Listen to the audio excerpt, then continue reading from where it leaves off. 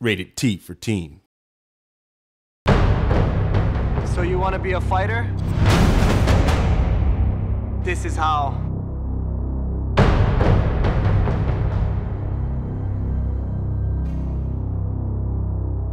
I was born with a storm inside of me. And I learned to use it at 17 with jujitsu. I earned a black belt after just three years of training. I am the first non-Brazilian to win the Jiu-Jitsu World Championship. I am ready for the octagon. I beat Matt Hughes in UFC 46 with a rear naked choke.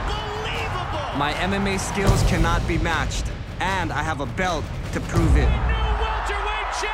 My ground and pound is at its fiercest against Kenny Florian, but it's my clinch that gets me into position to dominate. I am too quick to hit, too fast to beat.